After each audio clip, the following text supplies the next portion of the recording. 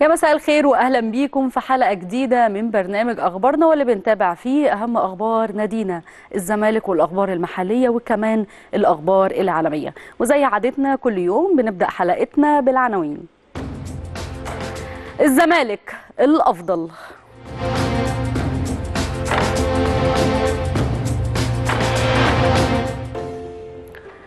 الزمالك والمصري المواجهة الثانية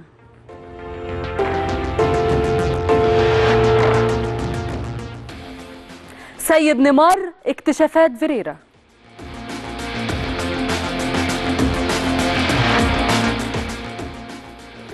مونديال 2022 جولة الحسم.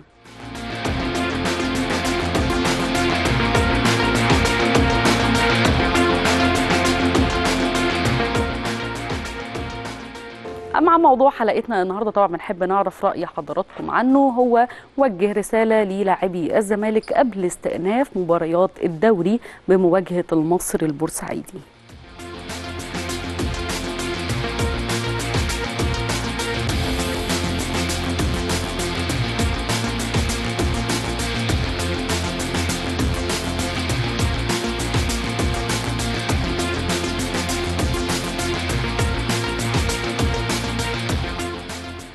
الزمالك راجع للدوري من تاني. وطبعا عندنا مباراة مهمة جدا جدا أمام المصري البورسعيدي.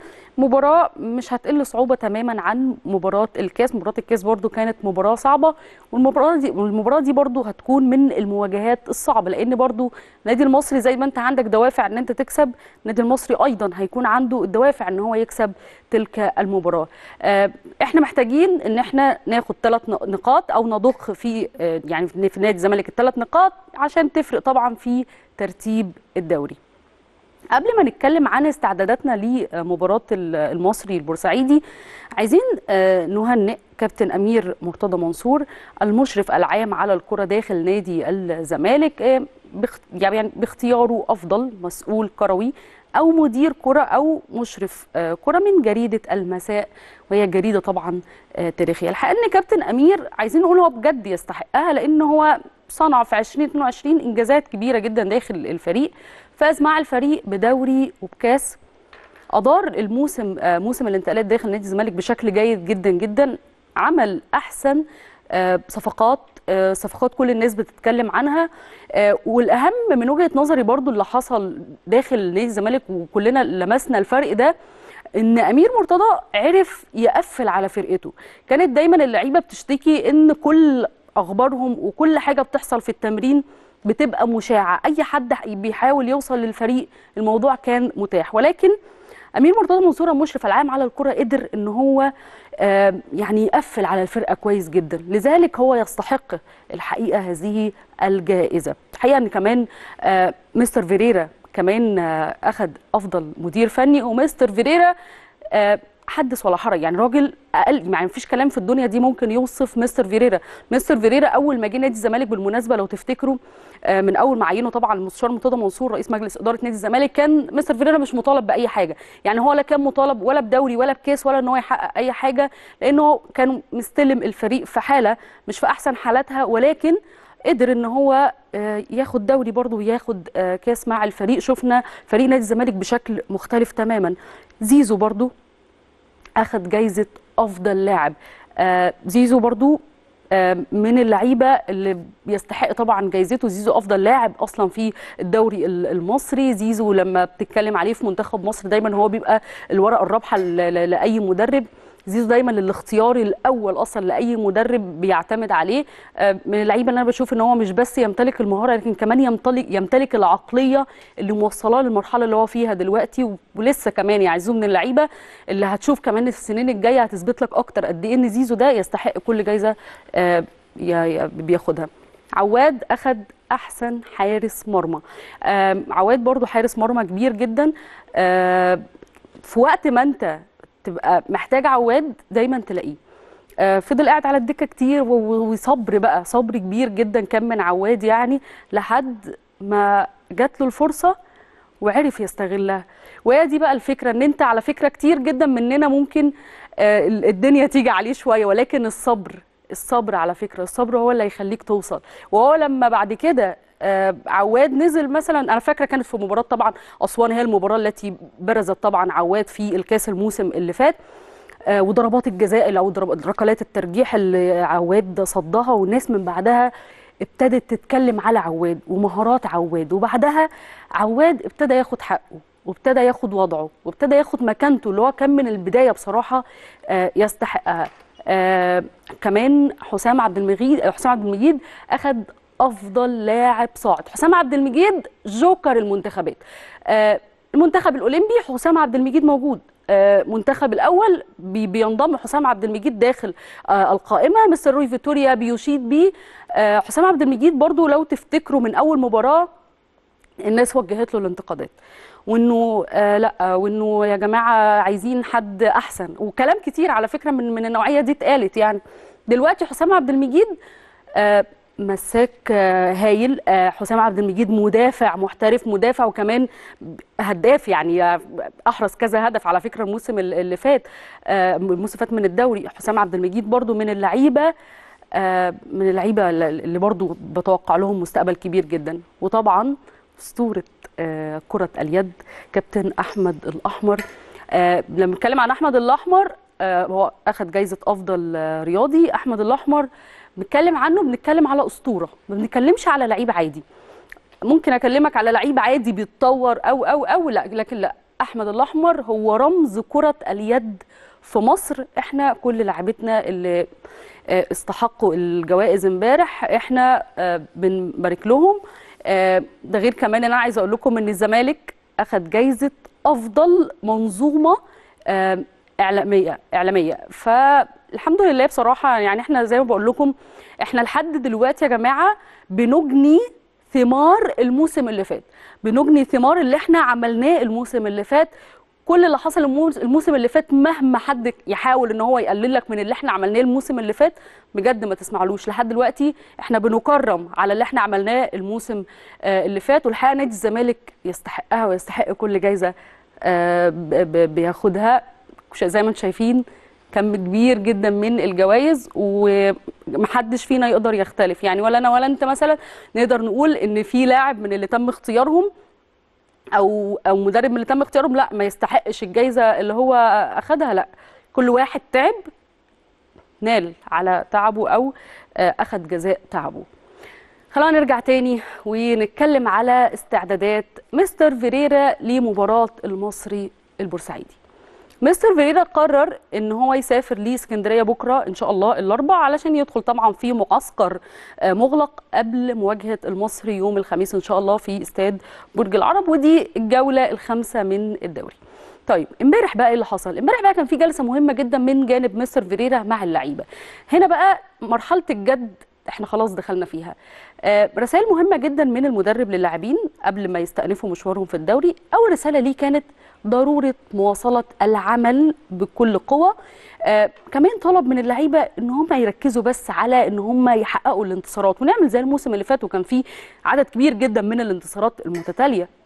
مستر فيريرا كمان أكد للعيبة إن المباريات اللي جاية هي مباريات قوية جدا ومهمة جدا ولازم كل لاعب منهم يكون على أتم الاستعداد وأتم الجاهزية. كمان هو مستر فيريرا قال في نهاية كلامه قال لهم جملة مهمة جدا جدا وركزوا فيها قوي إن هو واثق في كل واحد منهم وإن كل واحد منهم أو كل واحد من لعيبته هو هيقدر يقدم المطلوب منه بالشكل الأمثل. وقال كمان إن هو دلوقتي أو إن الزمالك دلوقتي يمتلك قايمة من أقوى اللعيبة في مصر في كل مركز. والحقيقة طبعا كل الكلام ده صح وفعلا إحنا لازم نستغله ونستفيد منه في كل المباريات القادمة. إحنا عندنا مباريات كبيرة جدا وكتيرة جدا فطبيعي جدا إن أنت يبقى عندك في كل مركز لاعب واثنين وثلاثه زي ما واضح كده من كلام مستر فيريرا إن الراجل متمسك جدا بحصد كل نقطة هتكون في ماتش. يعني رافض تماما بشكل قاطع إن إحنا نفرط في أي نقطة مهما كان من الخصم اللي بيواجهك مهما كان من الخصم اللي بيقابلك. على فكرة من من من أسباب نجاحنا إن إحنا بنحترم المنافس جدا وبنعمل للمنافس حساب جدا وبنذاكره كويس جدا. فعلشان كده تلاقينا مميزين فعلا في, في, في المباريات اللي إحنا بنلعبها. إحنا بنبقى مذاكرين الفريق اللي قدامنا كويس جدا. ولكن وفقا للجدول المعلن الزمالك هيلعب يا جماعة سبع مباريات في 29 يوم من شهر ديسمبر. البداية هتكون مع ال- ال- المصري اللي هي بعد بكرة الخميس وآخر ماتشات الزمالك في ديسمبر هتكون قدام الإسماعيلي وده هتكون يوم 29 ديسمبر. انت بقى هتلاعب طلائع الجيش هتلاعب بيراميدز هتلاعب البنك الأهلي هتلاعب حرس الحدود هتلاعب المقاولين العرب. طيب كلها مباريات زي ما شي... زي ما قلت لكم كده هي صعبة جدا ومهمة. علشان كده مستر فيريرا حريص قوي إن هو يتكلم مع اللعيبة وإن هو يوصل رسالة مهمة ليهم جدا إن أنتوا تقدروا وإن إحنا مش عايزين نفرط في أي نقطة من بداية بقى الدوري آه، بجد إن شاء الله. ونقدر إن شاء الله نحصد دوري وكاس ودوري أبطال. بإذن الله تبقى سنة 2022 و2023 تبقى سنة سعيدة علينا وموسم سعيد علينا إن شاء الله. تعالوا بقى نسيب الزمالك ونروح لكاس العالم. آم، كأس العالم خلاص دخل دلوقتي مرحلة ال- الجد ومرحلة الحسم. النهارده انطلقت الجولة الأولى آه، الجولة الأخيرة من دور المجموعات. يعني خلاص هيبان من النهارده بقى مين المنتخبات اللي خلاص هتودع ال- البطولة ومين المنتخبات بقى اللي هتتأهل لدور ال 16 وتكمل بقى المشوار ويبتدي بقى إيه؟ المونديال يشتعل. النهارده في مباريات آه، في المجموعتين الأولى والمجموعة الثانية وفعلا بدأت آه، مباريات المجموعة الأولى الساعة 5 الماتش الأول كان ما بين الإكوادور مع السنغال. وهو الأصعب آه، في المجموعة آه، حاليا المباراة 1-0 للسنغال. حظوظ الفريقين عايزه أقول لكم متساوية. والفوز مهم جدا لكل منتخب يعني فضروري جدا إن هو أي حد منهم إيه يكسب عشان خاطر ده هيفرق معاهم جدا. الماتش التاني هو ما بين قطر وهولندا. وتقريبا قبل ما أدخل الهوا كان كان دلوقتي بقت 2-0 لهولندا. يعني قبل ما أدخل الهوا كان 1-0 لهولندا دلوقتي 2-0 لهولندا. الصراع هنا أقل شوية. ليه؟ لأن قطر خلاص يعني ودعت البطولة. أتمنى لها يعني إن شاء الله حظ سعيد سعيد يعني في ال- ال- المونديال القادم. أما هولندا هتلعب على على المكسب. على الرغم من إن هولندا أصلا لو تعادلت يعني فده يكفيها للتأهل. ولكن الفوز ده يخليها تتصدر مجموعتها علشان كده آه، بتسعى طبعا إن هي تتصدر. طيب آه، زي ما شايفين آه، جولة الحسم صعبة جدا وزي ما كلها متعة وعلى فكرة هنستمتع الفترات الجاية جدا بكأس العالم. تعالوا مع بعض دلوقتي نروح تقرير عن مونديال 2022 وجولة الحسم ونرجع ونبدأ أخبارنا.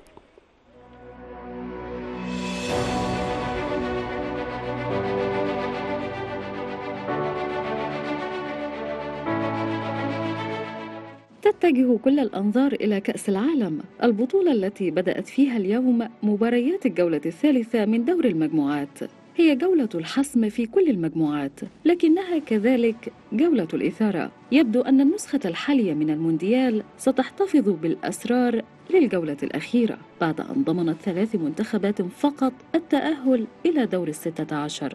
وتأهلت منتخبات البرازيل وفرنسا والبرتغال وودعت قطر وكندا ويتبقى 13 مقعدا يتنافس عليها 27 منتخبا. والكل لديه نفس الحظوظ في التأهل. في المجموعة الأولى تقام الآن مواجهتين من العيار الثقيل. في الأولى يلتقي الإكوادور مع السنغال وحظوظ الفريقين متساوية. وفي اللقاء الثاني يسعى المنتخب القطري لتحسين الصورة أمام هولندا. التي تبحث عن الصدارة. وفي المجموعة الثانية فإن إنجلترا تسعى للحفاظ على الصدارة في مواجهة ويلز. ويلز بقيادة جاريث بيل تسعى لتحقيق المفاجأة. وإنجلترا تدافع عن كبرياء الكبار في المونديال. وفي المواجهة الثانية ستكون مباراة إيران وأمريكا مثار الاهتمام.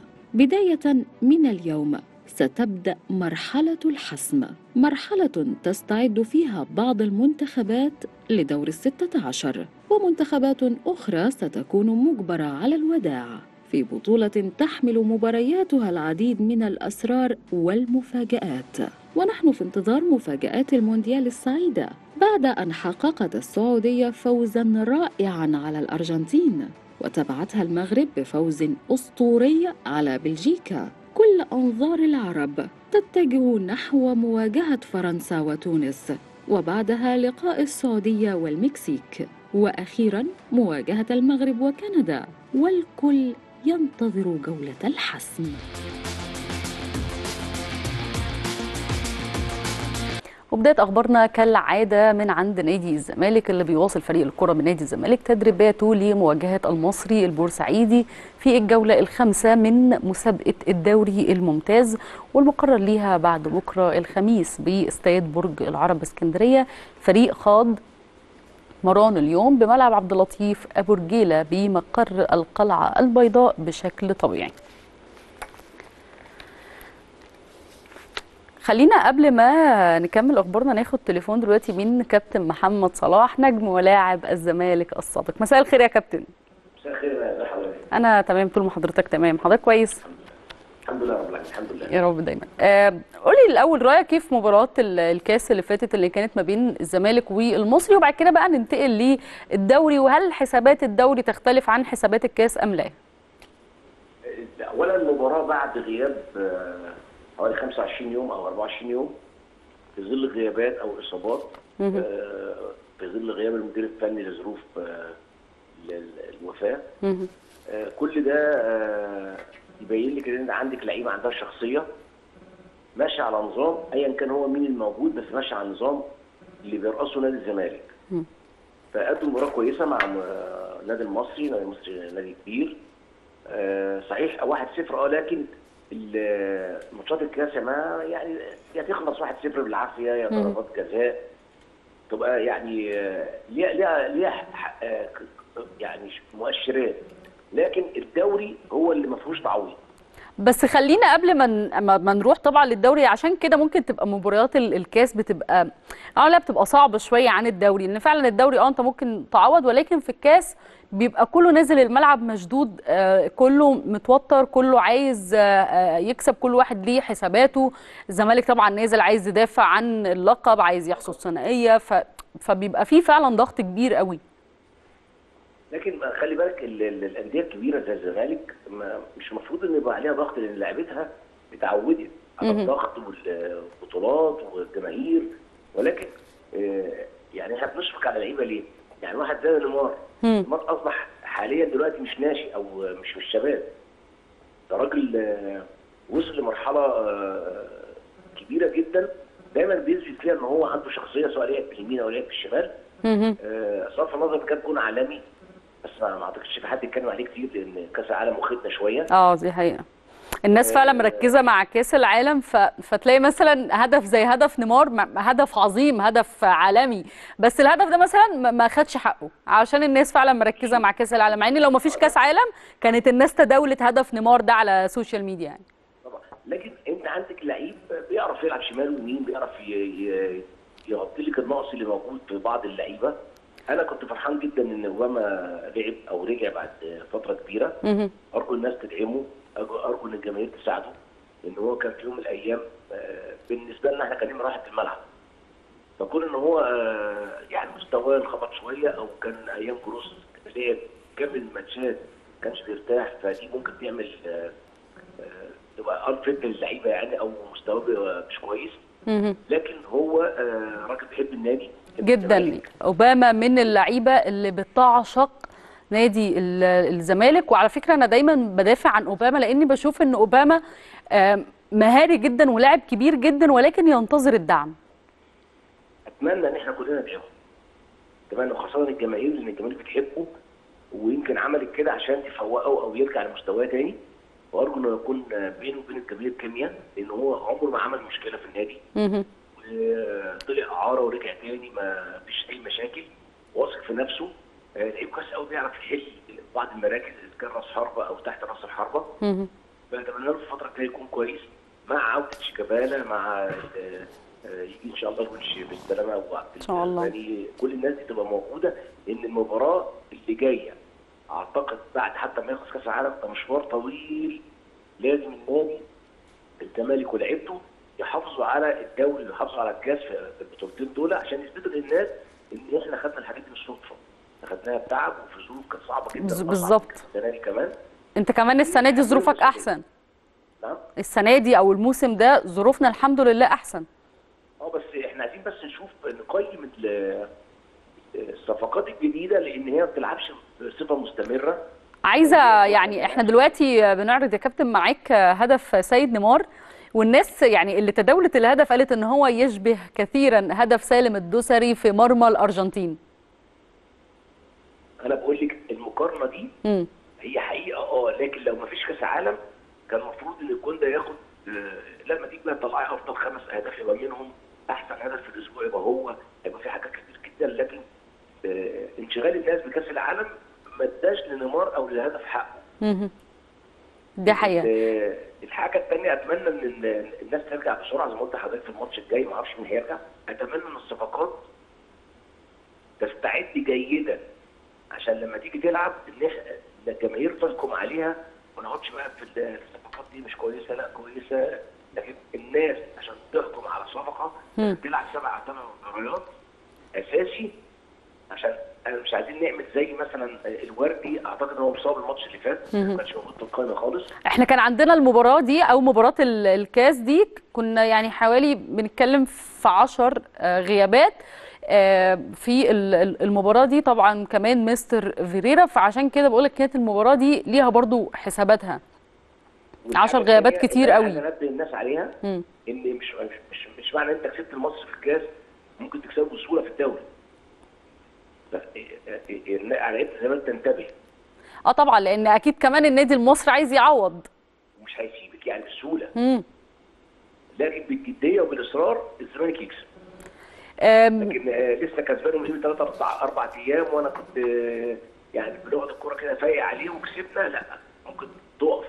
فأتمنى إن هي تمشي باستمرار إن شاء الله. إحنا فقدنا نقطتين في إنبي. إن شاء الله مش هيعطلونا عن آه، احتلال القمة تاني بإذن الله في الفترة اللي جاية. يا رب إن شاء الله. عايزة أكلمك برضو عن مستر روي أجواش واللي أدار المباراة ال- مباراة الكأس اللي ما بين الزمالك والمصري هو وكابتن طبعا آه، أسامة نبيه. آه، الناس كلها برضو قعدت تشيد شوية بروي أجواش وإن هو يعني يعتمد عليه وإنه قد ال- المسؤولية وإن هي كانت مباراة كبيرة ولكن أدارها آه، بشكل منظم وبشكل كبير جدا وقدر إن هو يص... إن إحنا نصعد يعني لنصف النهائي.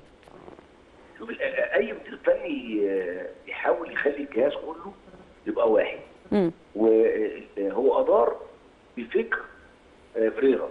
بس من بعيد يعني عبر ال- التليفون مثلا الأسلاك آه، لكن آه، كل حاجة متفق عليها أو متفقين الاثنين عليها مع أسامة مهم. عشان لو حصل ده يحصل إيه لو ده يتغير يحصل إيه وده اللي حصل حتى في التشكيل الاولانيه والتغييرات متفق عليها ولكن ده بيديكي حاجة كويسة قوي إن في انسجام بين الجهاز مع بعض. مش مش مجرد إن مثلا فيريرا يغيب يبقى الأمور كلها تبقى وحشة وصعبة لأ ما ينوب أو المدرب العام أو المساعد ده بياخد من المدير الفني كل البلان أو كل الخطة عشان يقدر يتصرف عشان مش يقدر يتكلم كل شوية في التليفون بالظبط. لو قاعد المدرج تبقى سهل شوية. لكن ده مسافر مثلا البرتغال فمش هيقدر يتكلم في التليفون ويرجع يلعب تاني. لكن هو مذاكر وقايل له مثلا قبل المباراة اللي هيحصل إيه اذا حصل كذا هيحصل كذا. فالأمور ماشية بسلاسة والحمد لله أنت عندك لعيبة تقدر تنفذ لك أي حاجة أنت عايزاها. بالظبط يعني طبعا. مفيش صعوبه. في الاداء أو في التفكير عشان أعمل إيه. حتى لو لما تغير الخطة في الملعب عندك لعيبة الزمالك عندها نوع من الذكاء شوية بتقدر تتعامل مع كل المواقف. وده اللي سهل الأمور عليه. دي حقيقة. آه متابع طبعا يا كابتن كأس العالم ومتابع اللي بيحصل دلوقتي. هولندا والسنغال آه وقطر يعني قول لي كده. كسبانة وهولندا كسبانة. آه شايف بقى الصراعات إزاي دلوقتي بقى في في كأس العالم والحسابات اللي بتتغير ومفاجآت كأس العالم؟ شوف هو كأس العالم فيه آه، يعني في حاجات في حاجات كويسة قوي بصراحة وخاصة المستوى. يعني ما تقدرش تقولي آه، مثلا آه، آه، أوروجواي هيكسب الارجنتين إمتى؟ لا ما تعرفيش. لكن هو بالجهد والعرق. وأنا ما يهمنيش الأجانب على قد ما يهمني الفرق العربية والمنتخبات العربية. اللي اسعدتنا بالبدايه من السعودية والمغرب وده يعني أعتقد أحسن اثنين يعني. مم. نتمنى انهم يكملوا في الدور الثاني إن شاء الله. طب لو هن- لو هنتكلم يا كابتن عن فكرة ال- اللي حضرتك بتتكلم عن المستوى هل المستوى فارق؟ عشان اللعيبة آه، إحنا كأس العالم في, في في منتصف الموسم فكل اللعيبة جاية بقى فورمتها عالية وجاهزة ومستعدة؟ هو من ضمن الحاجات الحلوة إن أنت جاية فت. اللعيبة دي كلها جاية فت. يعني حتى الاصابات دلوقتي أو لغايه دلوقتي الحمد لله قليلة جدا. فده بيديكي حق ان كل الناس آه، مستعدين كويس لعبوا كامل الماتشات في الدوري آه، أكتر من 10 اسابيع مثلا الحاجة الكويسة بقى ان هي قطر قريبة من كل الدول. يعني لو اتعملت مثلا كأس العالم في البرازيل ممكن أروح وأرجع ما أقدرش أروح تاني. لكن كل الدول دلوقتي أو كل المواطنين اللي في في الخليج يروحوا تاني يوم بيجوا يتفرجوا على الماتش. فده عمل كم كبير جدا من الجماهير ويمكن لغاية دلوقتي أعتقد الإحساس طبعاً. كل ده أكبر. أكبر كم من الجماهير حضر في كأس العالم. وده القرب المساحات أو المسافات بين بعضيها. دي حاجة جميلة جدا. دي حقيقة. بشكرك جدا يا كابتن. اتفضل. قول يا كابتن. قول يا كابتن الحاجة التانية. كنت اتمنى كنت أتمنى مع الكرنفال ده إن قطر تكون أحسن من كده شوية فرقه قطر يعني أو منتخب قطر. كلنا بصراحة كنا نتمنى يعني هي البلد المضيف لكأس العالم فكنا نتمنى طبعا. لا وإحنا إحنا آه كنا آه ماشيين معاهم والاستعداد كانت على يعني على أكتر من الروعة. آه، معسكرات ماتشات آه، بيخشوا في دورات يلعبوا فيها لكن المردود مش آه، آه، يعني مش على قد على قد الحدث. مهم. اللي إحنا مستمتعين بيه. ولكن استضافيا طبعا هي عاملة استضافة يعني عالمية بصراحة. نعم. يعني كاستضافة قطر طبعا يعني مقدمة نموذج من كأس العالم هو هو الأفضل على الإطلاق. آه دي حقيقة. وده فخر لكل العرب مش لقطر بس. دي حقيقة. بشكرك جدا كابتن محمد صلاح نجم ولاعب الزمالك السابق بشكر حضرتك جدا جدا على وجودك معانا ورجعنا لكم مرة تانية ويلا بينا نكمل أخبارنا وشارك آه، شيكابالا قائد فريقنا في الجزء الأول من مران اليوم الثلاث والذي أقيم على ملعب عبد اللطيف أبو رجيلة بمقر النادي. وانتظم شيكابالا في الجزء الأول من التدريب مع زملائه تحت إشراف أندريا فيليب مدرب الأحمال بنادي الزمالك والذي تضمن بعض التدريبات الخفيفة بالكرة. وكان شيكابالا أنهى المرحلة الأولى من البرنامج التأهيلي الذي كان يخضع له في الفترة الماضية بسبب الإصابة اللي تعرض ليها بكدمة في الكتف خلال مباراة إنبي في الدوري. وخاض شيكا تدريبات منفردة بالكرة من بعد انتهائه من المشاركة في الفقرة الأولى من المران طبعا أتمنى شيكابالا يرجع لنا مرة تانية وألف مليون سلامة عليك يا شيكا.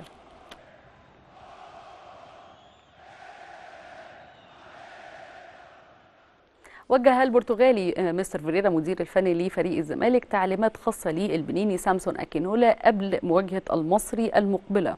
مستر فيريرا حرص على توجيه تعليمات فنية للاعبه لتنفيذها أثناء المران.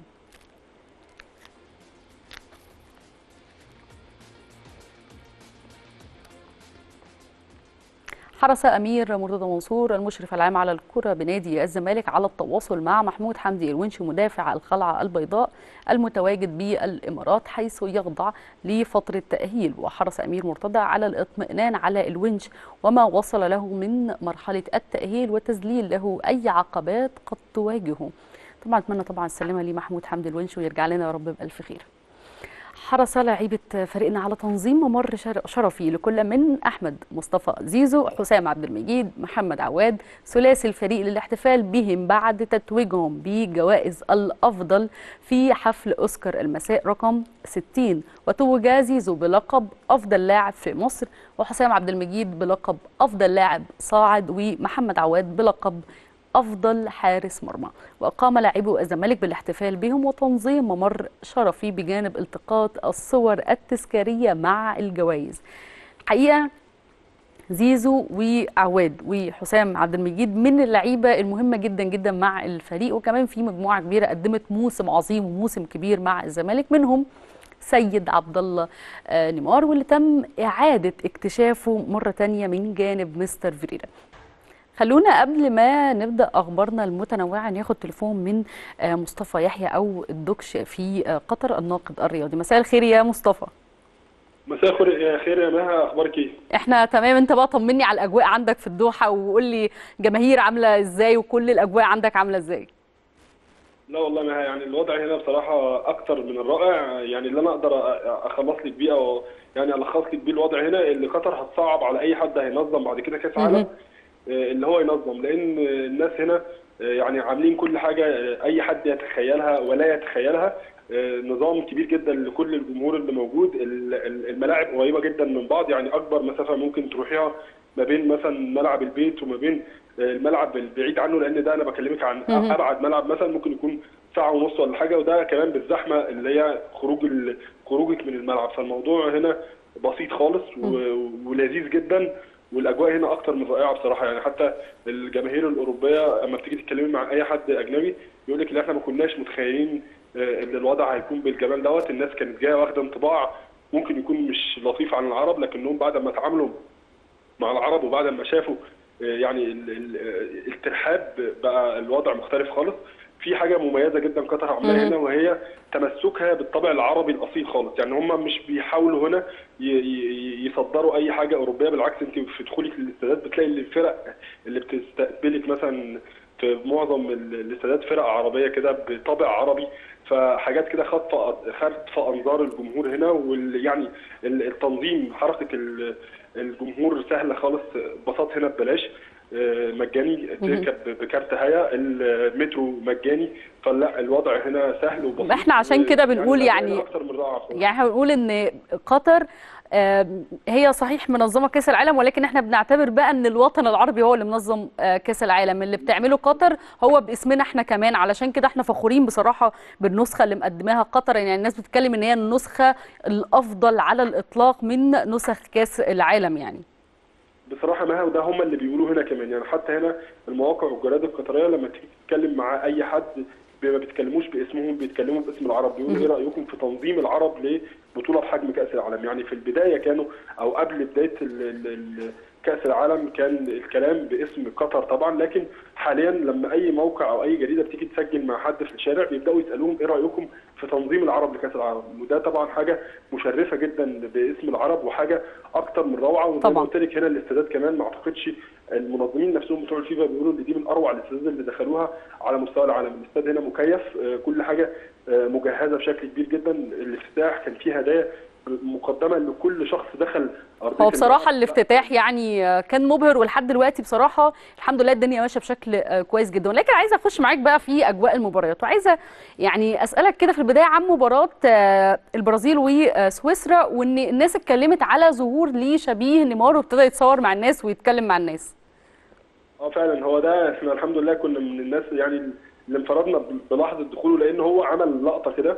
يعني إحنا كنا متخيلين بس اللي إحنا اللي بنحب الحاجات ديت لكن الوضع طلع منتشر جدا في أوروبا. هو شخص يعني آه، واخد كل حاجة من نيمار. يعني لدرجة اللي هو آه، أنا التاتو شفته. حتى اللي هو يعني عامله على جسمه هو عامل يعني هو حتى الحلقة كمان اللي لابسه نفس الحلقة اللي, اللي, نيمار لابسه لكن في أول لما دخل كده بعض بقى ال- ال- الجماهير المتعصبة كده في البرازيل بدأوا يقولوا للناس لما لقوا الناس بيتهافتوا اللي هم يلتقطوا معاه الكور التذكارية بدأوا يقولوا له ده fake نيمار إن دوت مش نيمار الحقيقي إن ده شخص بيدعي إن هو نيمار. لكن من كتر ما الناس بدأت تتدافع عليه وبدأت الناس تتوجه ليه بدأ على طول يكون في أمن يروح يتوجه معاه لكن هو برضه عمل خدعة حلوة قوي. هو كان جايب شخص معاه لابس سماعات ال staff ومكتوب على اللبس اللي هو لابسه اللي هو staff يعني كان عامل من الآخر كده يعني إيه مظبط اللقطة بصراحة بشكل آه مرتب يعني. راسمها راسمها لنفسه قوي يعني لا ده كان مرتبها قوي وده اللي خلاه خطف الأجواء كده في المدرجات أنا بقول لك الوضع هنا في. في الملاعب جميل جدا يعني الناس كلها حتى جماهير الجماهير آه، بتبقى موجودة جنب بعض فما تحسيش إن في تعصب من حد معين. حتى لو شدوا مع بعض مثلا لو حصل أي كلام أو أي حد مثلا وقف في هجمة لمنتخبه مع ال- ال- ال- ال- المنتخب الثاني لا ما تلاقيش حد بيشد مع بعض ولا تلاقي حاجة آه، يعني مش لطيفة. هنا الوضع جميل وهنا اللي عارف حاجة بيقولها للي حواليه فتلاقي الناس كلها آه، يعني عارفين يعيشوا الأجواء مع بعض. سواء بقى دخوله كان مغير الأجواء خالص. طب خلى لو- الناس كلها اجمعت بصراحة اللي هي تلتقط معاه الصور التذكاريه ده الوحيد اللي الناس كلها بصراحة يعني يعني بقول لك هو ذكي عرف ياخد عرف ياخد اللقطة ويكسب الشهرة. شكله اللي كان منظمة عايز بصراحة من قبل ما آه. يدخل بالملعب فأنا طب بما إنك أنت شكلك حضرت مباريات كتيرة قوي مين أقوى جمهور يعني لفت نظرك جدا؟ وإيه هي اقوى أقوى مباراة برضو من وجهة نظرك؟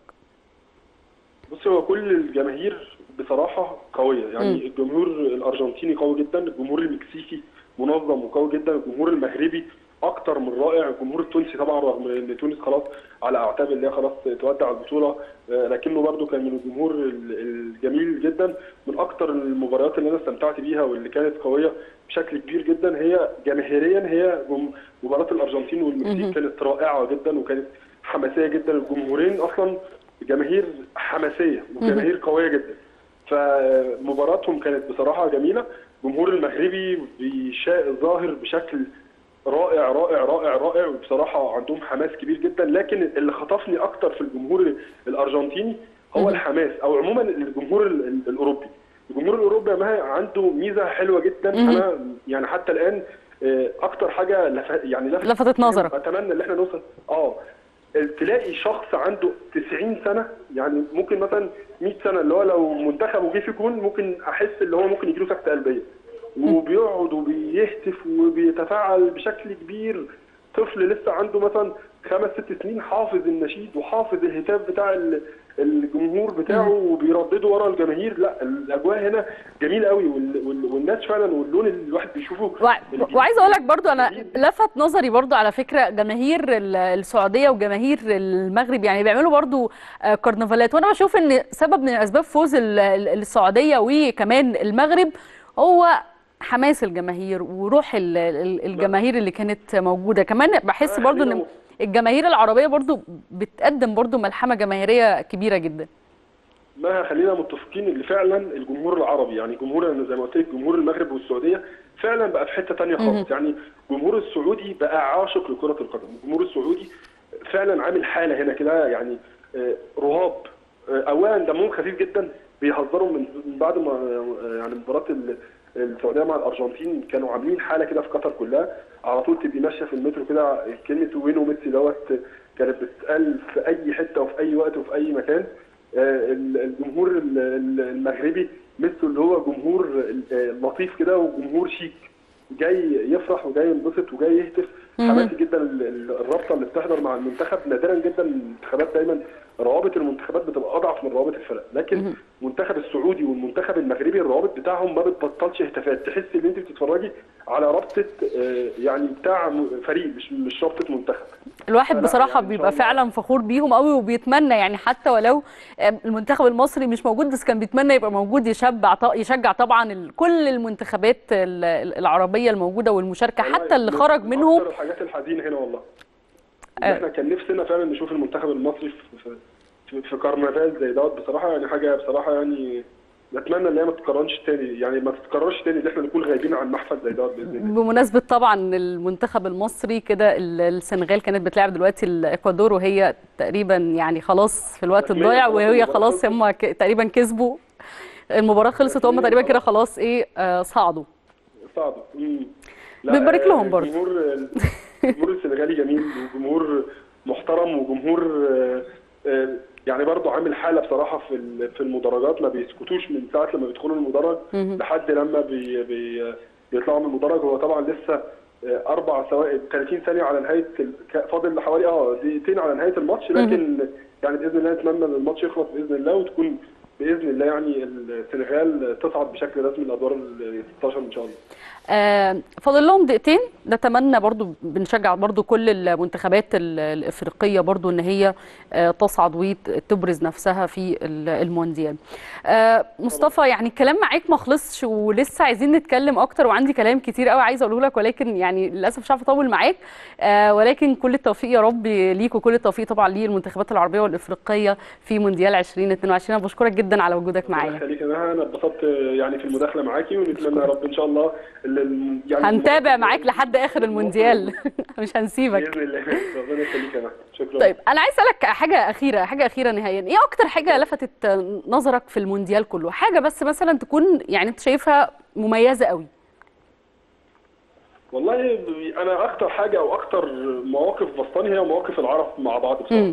يعني آه، آه، لقطة هنا ال- ال- الأمير ووالده والأسرة لما بيحضروا رغم خروج قطر بشكل رسمي ورغم الأداء السيء اللي المنتخب القطري ظهروا عليه مم. اللي أحبط كتير بعد التنظيم الكبير والتكلفة الكبيرة اللي هم كلفوها لكن دعمهم للمنتخبات العربية وتشجيعهم في المدرجات في لقطتهم مع منتخب المغرب بصراحة من أكتر الحاجات اللي عجبتني العرب هنا الحمد لله الحمد لله متجمعين بشكل محترم قوي ونتمنى إن الصورة دي تفضل عليها.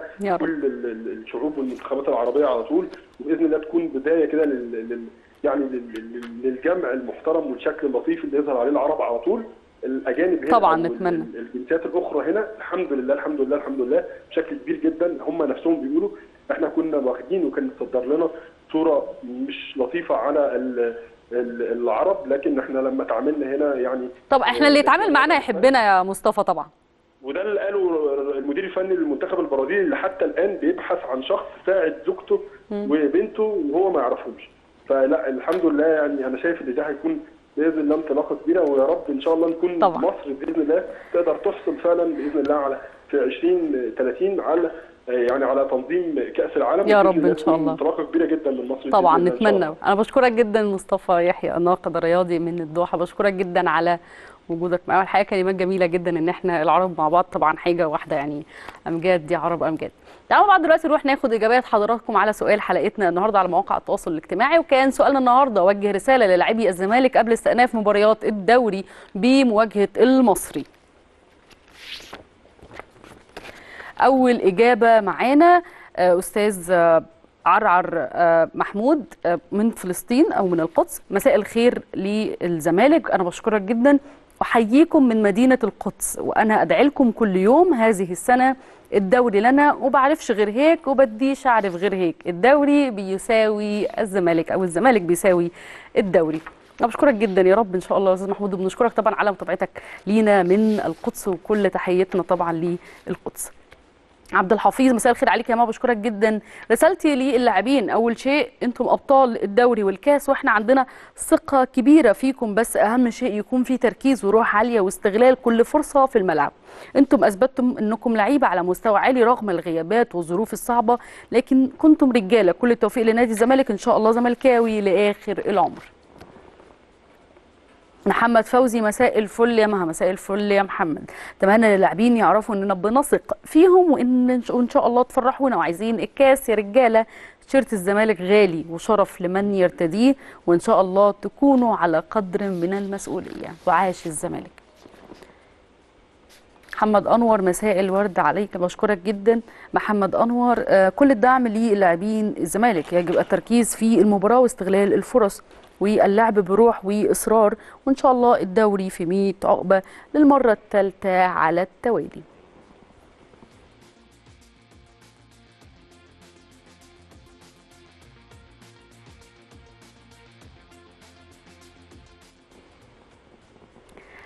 أه بشكركم طبعا على التواصل معانا. دايما عايز أقول لكم إن منتخب السنغال أول فريق إفريقي يصعد لدور ال 16 طبعا بنبارك لهم بنبارك لكل الفرق الأفريقية اللي هتلاحق إن شاء الله آه، منتخب السنغال. إن شاء الله يقدروا يقدموا نموذج مشرف وإن شاء الله يكملوا برضو للنهايه ليه لأ. وأتمنى برضو التوفيق لكل إخواتنا العرب وكل التوفيق للأفارقة في كأس العالم مونديال 2022 أنا بشكر حضراتكم جدا على المتابعة. شكرا.